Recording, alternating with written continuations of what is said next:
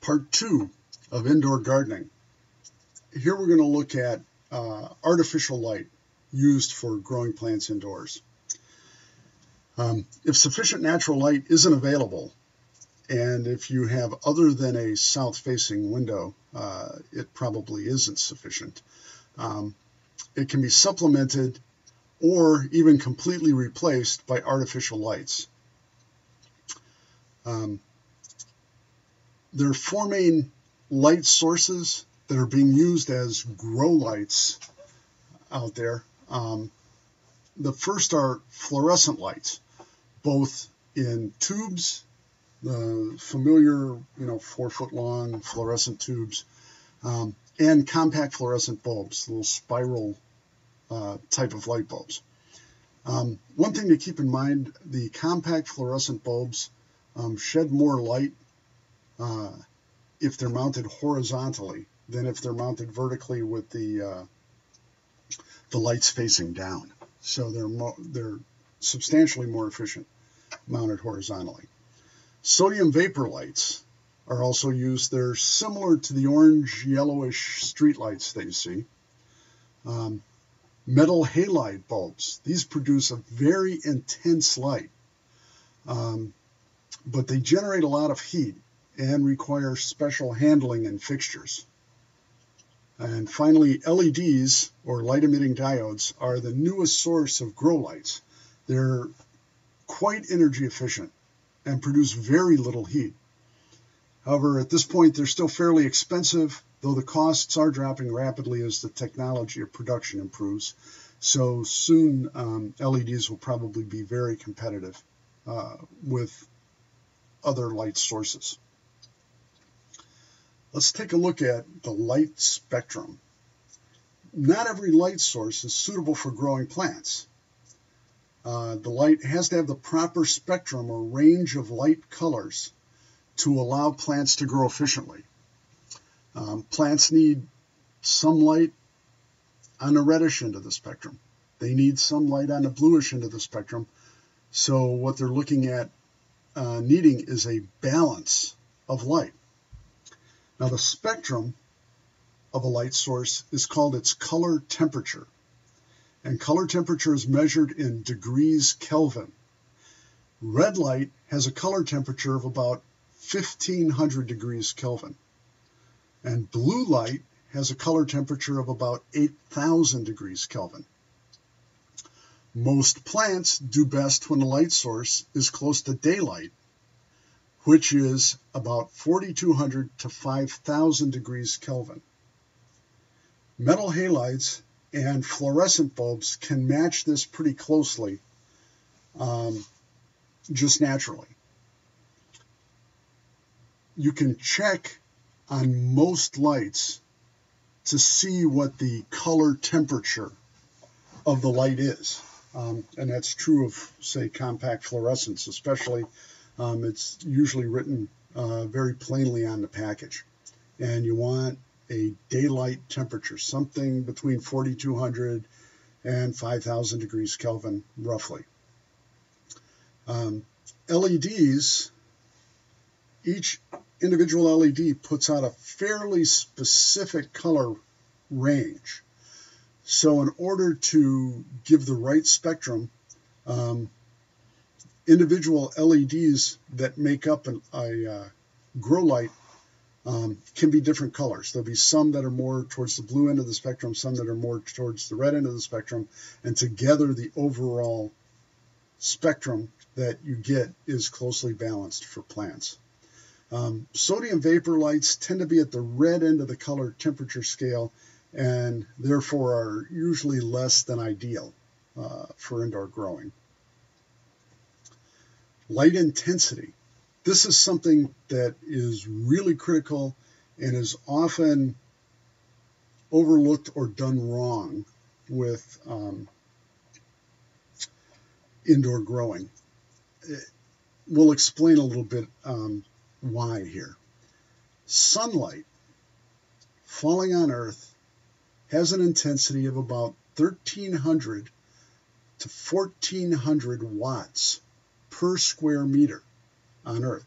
So every three by three foot square on Earth, when the sun is shining, is receiving 13 to 1400 watts roughly of intensity from the light. Now, think of a grow light fixture that uses four fluorescent tubes. Each one of those tubes is 40 watts, and let's say they're placed one foot above the plants. That would allow that fixture to illuminate about one square meter of growing area. Now, fluorescents generate about three times the light, the amount of light per watt of incandescent lights. So the effective wattage of fluorescents is about 480 watts per square meter. Now the actual wattage is a little less than that because of light scatter and loss and that sort of thing. So we are in fact lighting our plants with a set of grow lights placed only one foot above the plants. They're still only getting about one quarter of the intensity of sunlight. It is very important to use very bright lights very close to the plants. What happens when you move the lights a little farther away? Well, that's where the inverse square law comes in. Now, this sounds all mathematical, and I know when you start talking math, some people's eyes glaze over, but it's really actually pretty simple. Light follows the inverse square law, which means that the intensity of the light is inversely proportional to the square of the distance from the light source. That means every time you move the light away, a substantially less amount of light falls on the plants. So a simple way to think about this is if you double the distance from the light to the plant, the light intensity that reaches the plant isn't cut in half. It's cut down to a quarter of the intensity. So you're only getting one fourth the intensity if you move the light twice as far away. So here's an example.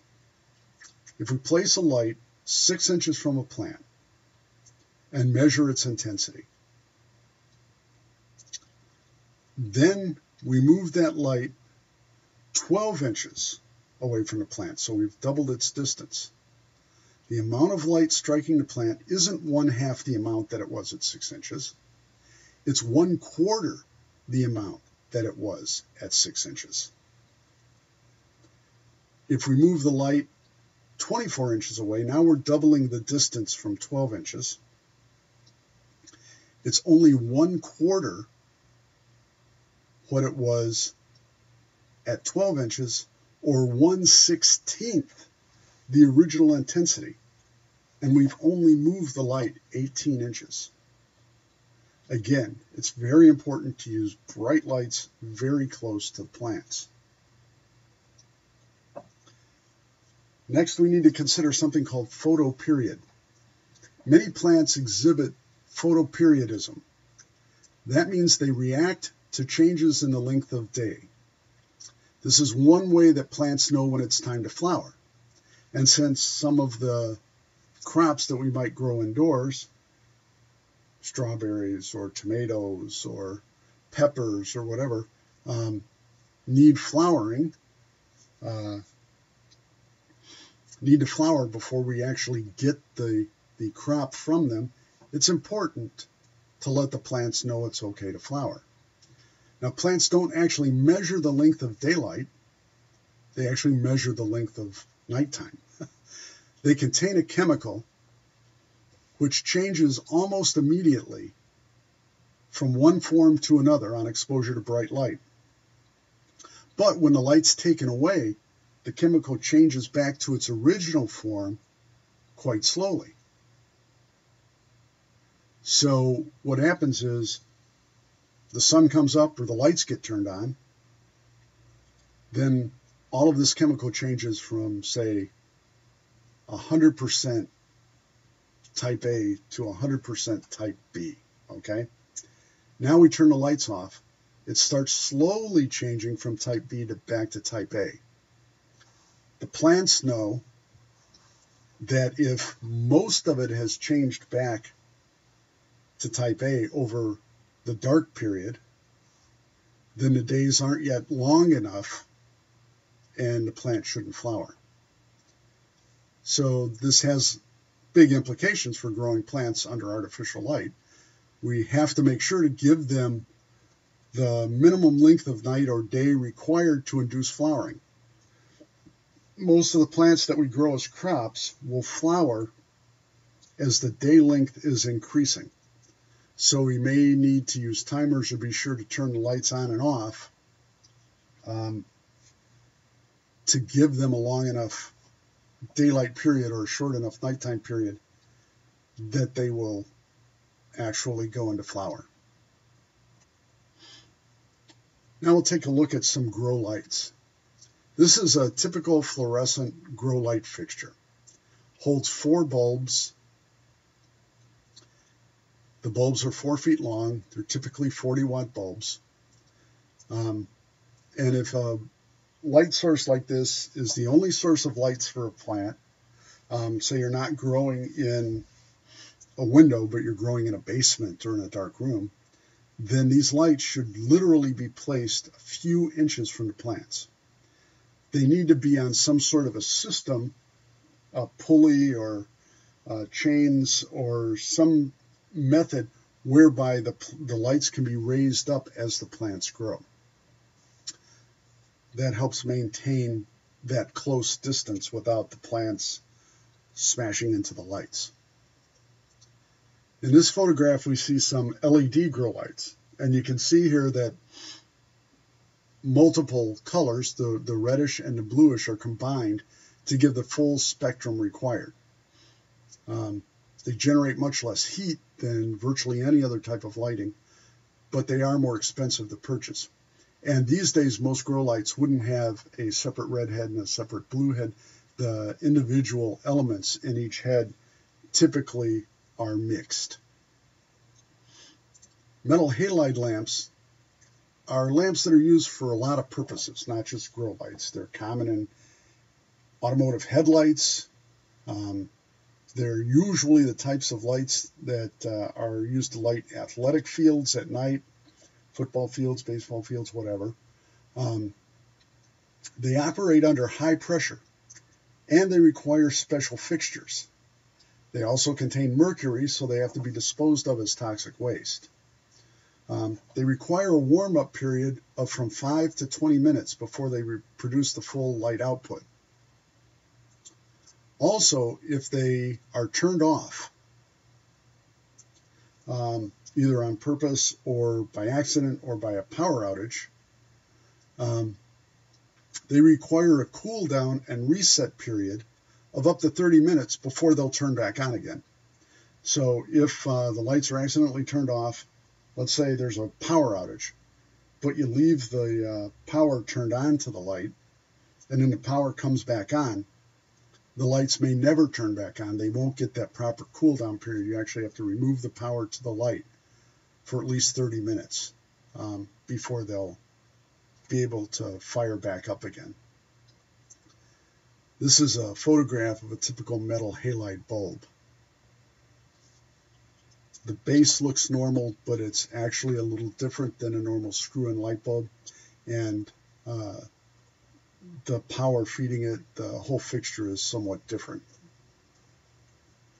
Here we see an indoor garden. Um, these are being grown under a combination of fluorescent and metal halide uh, lights. And you can see a range of uh, containers here from these plastic containers that are obviously not made for specifically for growing plants to the uh, pots in the back that are, uh, you know, these back here are specifically made for plants. These containers are not. This one is. Um, the key though is if you use a container such as the such as these plastic ones, that aren't specifically made for plants, They really should have holes drilled in the bottom uh, to allow the water to drain out. Otherwise, the uh, bottom of the container can be waterlogged, and while the top begins drying out, um, you end up with anaerobic conditions, lack of oxygen in that bottom layer, which can start causing bad smells and things like that. Um, remember from our unit on compost how the compost had to be aerated to keep it from going anaerobic so that we can eliminate uh, bad smells. Same situation here, except that if that soil at the bottom of one of these containers goes anaerobic, um, it may well hasten spread of disease through the plant or through the container and uh, damage the plants. So now that we know a little bit about the growing methods and we know a little bit about lighting, um, what are some of the crops that are suitable for indoors? Um, well, just about anything can be grown indoors, provided you can provide it with enough space and enough light. But those are the two things that will limit what you can grow. If you have a south-facing window, or you use artificial lights, or use a south-facing window supplemented with artificial lights, you can grow a lot of crops. And then space becomes a limiting factor. Um, some of the crops, crops commonly grown indoors include herbs basil, rosemary, chives, thyme, parsley, things like that, because they typically take uh, less space because we don't use them in huge quantities. Um, and most of them are better used fresh, so they make a great indoor crop. Leafy vegetables like spinach, lettuce, and arugula, again, not necessarily tons of space, fast growing, um, and can provide repeated uh, harvests before we have to pull the plants and start over again. Small root crops like radishes, carrots, and turnips can also be grown. Um, some legumes like bees and peas, beans and peas uh, can be grown, but space may be a limiting factor as some of these like to get quite large. And then larger crops like tomatoes and peppers, um, if you have the space and if you have the light, uh, can be readily grown indoors. Um, one of the issues that you'll run into with uh, peppers and uh, tomatoes and things like that is uh, pollination.